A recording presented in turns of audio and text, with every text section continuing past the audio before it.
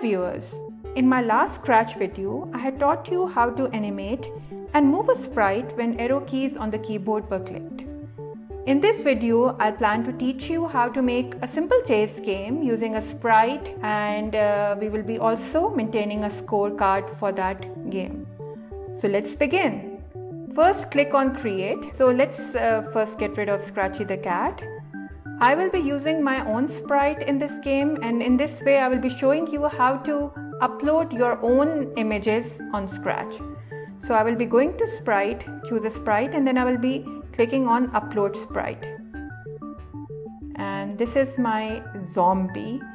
So I will be basically making a zombie game. So I will just upload the first image, the first costume.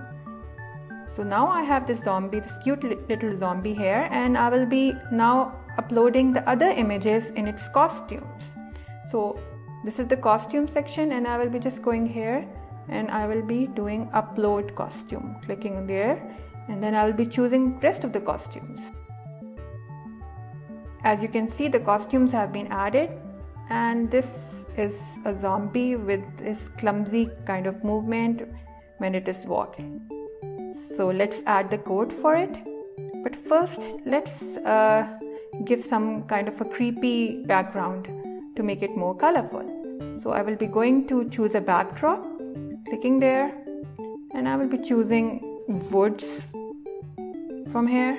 So now this looks very uh, scary looking and you know the night with the moon there. But our zombie is too big. So the, here the size says it's 100 so I will just make it half. And this is an appropriate size. So now we are going to add the movements for it. Uh, I want the zombie to just glide up when the up arrow key is pressed and to glide down when the down arrow key is pressed. And to actually walk because we have those costumes for walking to actually walk when the right and left arrow key uh, keys are clicked so let's do the uh, the easy ones first and those are the up and down arrow keys. So we will go to the event choose when the key pressed and we will choose up arrow from here.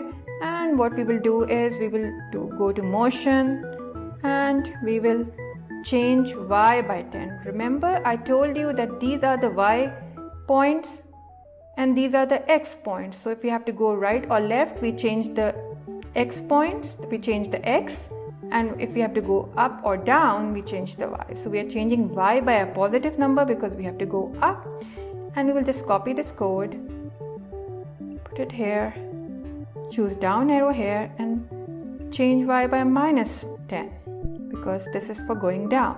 So look this is the basic code. It's going up going down. Okay. Now we will do the right left code. So we go to events when space key is pressed but we choose the right arrow key and now we have to do something different here because we have to make use of all those beautiful costumes of the zombie. So, what we are going to do is that we are going to put a repeat loop here. And what should be done? It should be repeated 8 times because we have 8 costumes. So, do it 8 times. And what should be done 8 times? Go to motion and choose change X because now we are talking about right left movement so we are going to ch- be changing x so we're going to change x by a tiny number a small number 2 as compared to y because we were moving that by 10 uh, changing that by 10 so we are changing x by 2 and we will change the costume. So whatever costume is next next costume and then we are going to put a little bit of delay. As the human eye cannot see very fast movements so if we don't put this delay then it will be going very fast and we will be not be able to see the, the fine movements of the of the uh, zombie uh, that were in the costumes so we'll just add not a one second delay otherwise it will be too slow. Just a 0.05 seconds delay. And look look i'm pressing the right key and look he's walking like a zombie okay? And we will just copy this code do it for the left arrow. And instead of x change x by 2 we will be doing it by minus 2 so this should take care of everything but not yet because you can see our zombie is backward walking. So we remember we had something like this in the crab uh, video too?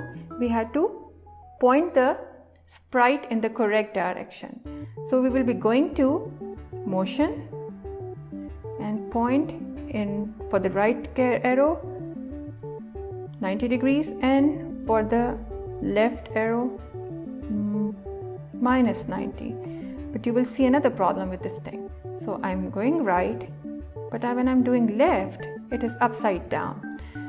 So we have to tell that when it points the rotation style should be left to right. If you can see it's uh, actually all around. So that's wrong. We want it to be left right but it's not correctly set. So the way to go about it is that you go to events and when the flag is clicked when the game is started just set the correct rotation style. So now when I will press the flag, this should take care of the problem. See on the left arrow, it's it has rotated correctly. Now another problem with this code is that our zombie is going beyond the screen. So how to take care of that problem? We have to use this feature that has been offered by Scratch. It is in motion, and that is if on edge bounce. So we'll just put it here. So this will take automatically take care of the edges. See? It has bounced. And we have to do exactly the same thing for the up and down arrow key because you can see when I go down, it's again going outside the screen. This seems to be in order. Now, what is the zombie doing in this game? This cute zombie of ours, uh, uh, it likes muffins. So let's add a muffin sprite. So go to search, food, and we have the muffin. And this muffin is very big, so we will also reduce its size by 50. And this is an appropriate size for our zombie and this um, this muffin also has two costumes. One is the solid uh, the complete muffin and this is has a bite taken out of it. So what is the muffin doing here? What we can do with this muffin is that it comes on the screen it shows up on the screen for 5 seconds and then it goes to a random position and it shows up there. So how to go about that so we are going to do what we are going to do is first we need the event that when the flag the green flag is clicked you have to forever do something. And what should be done? That it should go to a random position. First of all uh, it should hide. Hide is in looks. So it should hide go to a random position and then it should show up. So showing up is in looks. Show up for about 5 seconds. So wait is in controls. And we put the wait block here. And we change it to 5 so what will it do? It will first of all it will just hide. Nobody can see it. And then it will go to a random position. And then it will show up it will keep on showing for 5 seconds and the zombie has to get to that muffin in those 5 seconds. Otherwise that muffin will disappear and it will appear in another random position. Okay so let's start try our code. See? It's showing up and it's now in another place okay? So this some problem with this code. As you can see now, this is a little bit outside the screen. So how to solve that problem? So let, me first stop the code by pressing the red uh, button. So the thing is that a random position can be somewhere here too. So this is this is also a valid random position. But if the muffin comes here, so it's partly outside the screen. So we have to tell uh, which are the random positions it can take. So we have to actually give it some numbers which it can take randomly. So what is a good number for x? x should not be less than minus 196 otherwise it will be outside the screen so x should be minus 196 or it can be any number less than 239 so let's see how to do that. We go to motion and we will be changing go to random position with something else and that will be this. Go to x but now we have to uh, for the, this x part we have to give it a random number. So what will we do? We'll go to operators and we will pick a random number and the random number the larger number can be 239 and the smaller number is minus 169 so this will take care of the x okay? So i'm going to change the x point with this the random. Now we have to do exactly the same thing for y. So what are the uh, um, the correct values for y? For the muffin to appear completely on the screen. So y has to be between minus 168 155 so we'll do the same thing.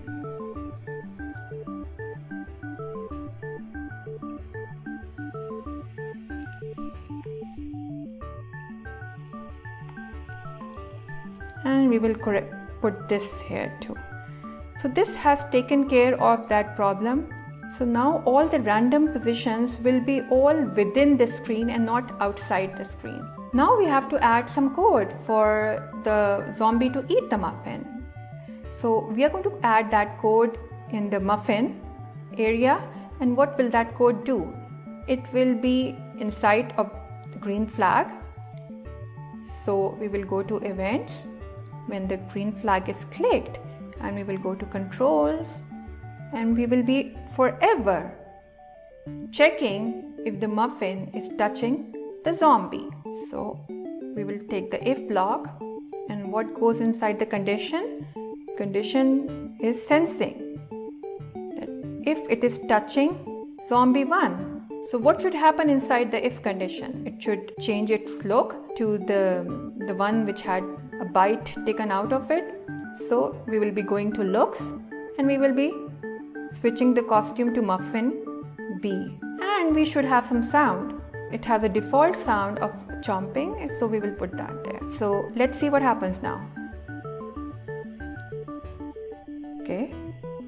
And it should also hide, okay?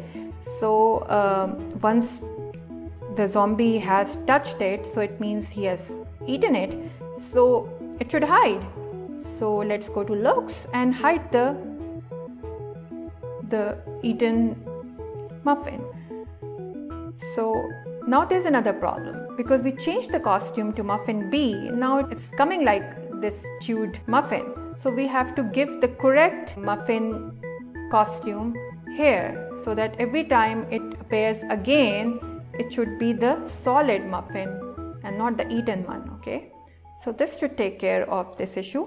Let's do it in full screen. Green flag.